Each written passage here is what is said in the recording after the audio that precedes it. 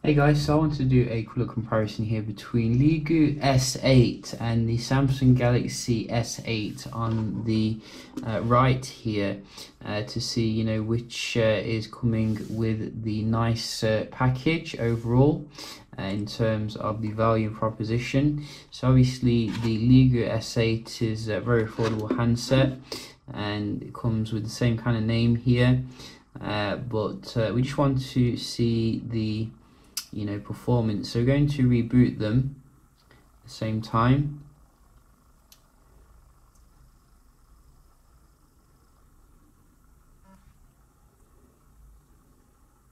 And I gotta say you know it feels very nice in the hand. Uh, the screen doesn't curve all the way around but it is practically bezel-less uh, it's in terms of the you know sides but I don't think it's quite as curved as what you're getting on uh, the Samsung, which does boot on a little bit faster here. I think we're running more mid-range kind of specification on the Leagoo. Stylish phone. That's what it is.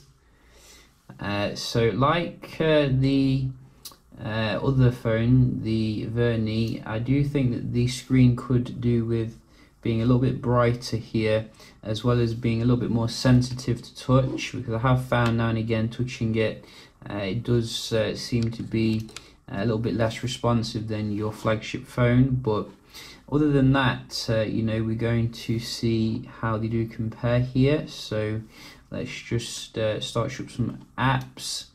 Everything's closed down Yes, it is. And go. Also, I think the screen calibration could do with a little bit of uh, rejigging because the screen looks a little bit too warm than compared to what it should be. But you know, I don't think uh, these are massive issues, and you can probably change it in the settings. All faster here. You see, that's Samsung lag. That is can't even go into the camera faster than uh, the Leagoo. Leagoo again here. Wow, it's on fire. Look at that. But then Samsung comes back. Another one. Leagoo again.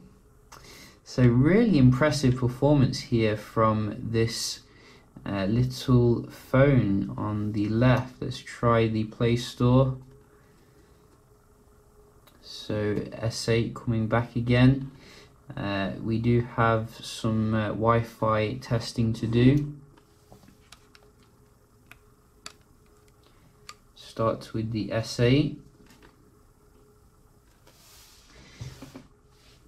So is the screen actually curved here? That is a good question because it looks like the screen is curved, uh, but it's not. Actually, in fact, is it? It doesn't. It looks like it is. It gives the impression it is, but it isn't. I don't think. Uh, it does really look like it's curved though, so it, it gives off a much more high-end impression than it is. Uh, all crashed there on the Samsung, only six months old. Uh, so I think it got about 200 for the Wi-Fi. Uh, one of the weaknesses of the Leagoo is that it only has 2G. This keeps crashing. Uh, so you can see, oh, we got a software update. That could be something to do with it. Uh, quite a big one as well. So that uh, is quite nice. We'll certainly do that eventually. Uh, obviously this is just checking the performance here. And you can see I think in terms of the Wi-Fi uh, you are going to get a better on a high-end phone. You did notice as well uh, I tapped several times on the screen there uh, to get the thing to respond. Uh, so we can just have a look in the settings and see what else we're getting uh, in terms of the functionality. So obviously in the settings you do get a display option I'm guessing in here somewhere uh, we may be able to change the font uh, the brightness etc your wallpaper but I don't think there's a screen calibration option which would be very useful uh, you know, in that uh, particular setting. Couldn't see it though. Navigation bar can change the navigation as you can see. Oh, and then let's go back again. And also LED light. Uh, so it has 32 gigs internal storage, which isn't too shabby. Does it have an update area to keep you up to date? It seems it does so it's already up to date that is nice and also obviously uh, let's have a look how the camera UIs do compare here. Uh, so I think in terms of the maturity the Samsung's looks a little bit more grown up. I think the they're still using like older kind of Android interfaces for the camera so that could be something to improve I think going forward. But you do get HDR and your flash etc which is nice uh, I don't think you get 4K though or anything you know fancy in terms of the camera but I think I did spot a dual camera there so this button probably is the uh, blur effect which we can just have a look at here see how it looks. So when you want to take a shot you just go bam like that. So the shutter is a little bit slow but uh, you can see it does do the blur shot quite nice uh, indeed.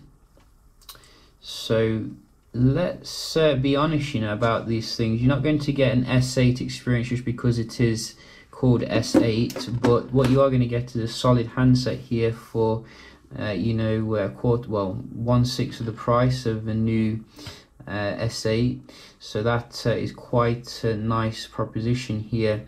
Uh, I, I do wish that on the next one they make it so that the screen is a little bit brighter. Uh, they make it as well with the type C connectivity. Uh, that uh, would be something to be very useful. And also it'd be useful if they made it like more stock Android because I'm sure they used to do like a stock Android build uh, on older phones. But this is heavily skinned and may not be to everyone's taste really because there's no app drawer. Uh, but probably you can put one on you know deep here in the settings. Uh, so yeah just a quick little video here comparing Leagoo S8 with the Samsung Galaxy S8 hope you found it helpful and I'll see you in the next one. Cheers